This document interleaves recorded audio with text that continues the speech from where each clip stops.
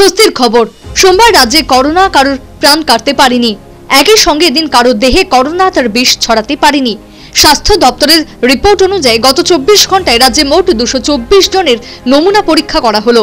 দারুণ খবর। তাদের মধ্যে কারোর দেহেই মিলল না কোভিডের ভাইরাস। একইভাবে এদিন সুস্থ হয়ে বাড়ি ফিরলেন আরও পাঁচজন। সুস্থতার হার বেশ ভালো রাজ্যে। স্বাস্থ্য দপ্তরের রিপোর্ট অনুযায়ী সুস্থতার হার আটানব্বই দশমিক সাত পাঁচ শতাংশ। বর্তমানে রাজ্যে কোভিডের চিকিৎসা চলছে এমন রোগীর সংখ্যা সাতাশ জন।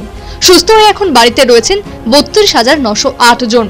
যাদের চিকিৎসা চলছে, তারাও খুব তাড়াতাড়ি সুস্থ হয়ে উঠবেন বলে আশাবাদী রাজ্যের জনগণ। এখন অবধি রাজ্যে করোনায় প্রাণ হারিয়েছেন তিনশো অষ্টআশি জন। এই সংখ্যাটা যাতে আর না বাড়ে, তার দিকেই নজর রয়েছে সবার। Bureau report, news Vanguard.